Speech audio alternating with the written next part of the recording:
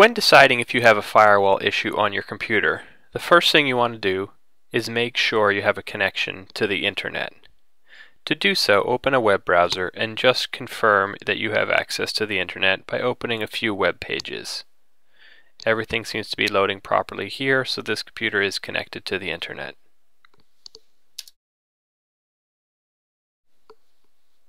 Next, you're going to launch the software from the CD in your CD drive.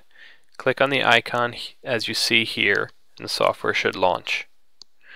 This demonstration is being done on a Windows computer running Windows XP.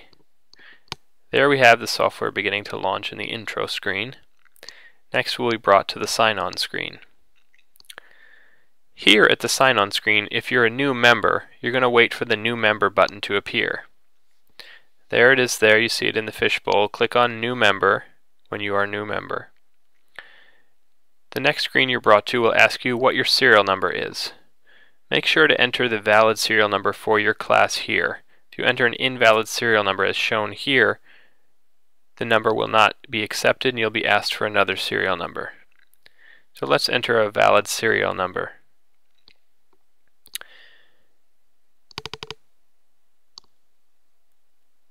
Now that we've entered a valid serial number, you should be able to press the enter key and be taken to the next step. If you're having a firewall issue, the next step may not appear here, meaning your firewall is blocking the next step from popping up on your screen.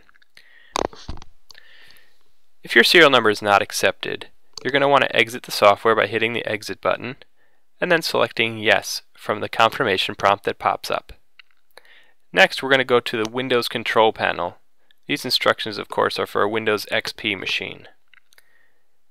Once you're brought to the control panel, I like to view things in what's called the classic view by clicking here.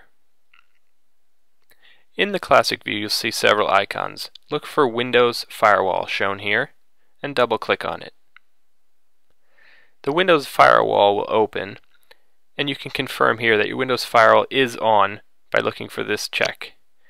Next click on the Exceptions tab at the top that's shown here and we're going to add a new exception by clicking here. Since we're adding an exception for a new piece of software, we're going to need to click this Browse button shown towards the bottom here. And in the Browse window, we're going to navigate to the CD drive of the computer. For this computer, it's the D drive, and you can see it says KY1CD on the label. Once your list of files shows up, you see one single file shown here. You can double click it hit OK, and now we have KY1CD showing in the exceptions list. Close the firewall and close your control panel and relaunch the software. Again, you'll be brought to a screen asking you to either log in or create a new member. Again, since we were not able to successfully create a new member before, we're going to again click on the new member button shown here. Go ahead and click on new member and it's going to ask for your serial number of your classroom. Enter a valid serial number here, and now that our firewall has an exception created, it should accept it and ask us to pick a username as shown here. Enter in a username for your classroom and choose a password. You'll need to type that password twice to confirm it. You must pick a unique username if you are not, you'll be shown this prompt showing someone already has that username. Try another one, where you'll be asked to type in another username. Let's try something else.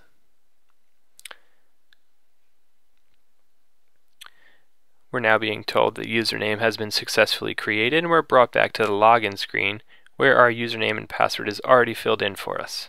Click the sign in button as shown and you'll be brought into the software showing you all the different levels that you can now begin to complete.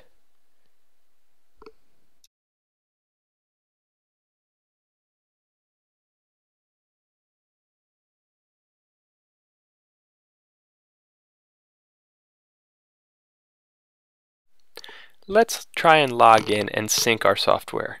You might need to do this procedure if you ever move to a new computer where you already have a username but you haven't created a firewall exception yet we're going to log in as an existing user who has done several different levels already.